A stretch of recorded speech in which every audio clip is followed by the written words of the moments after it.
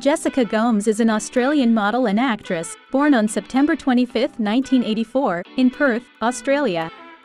She is of Portuguese and Chinese descent and grew up in a multicultural environment.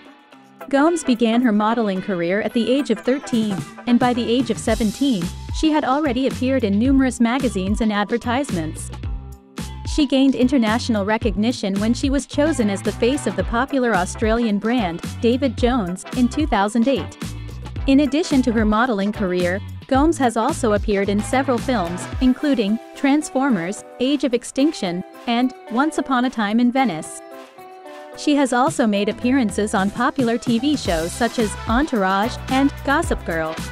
Throughout her career, Gomes has been praised for promoting diversity in the fashion industry and breaking down stereotypes. She has also been an advocate for body positivity and healthy living. Today, Gomes continues to model and act, and she is also an entrepreneur, having launched her own skincare line, Equal Beauty, in 2019.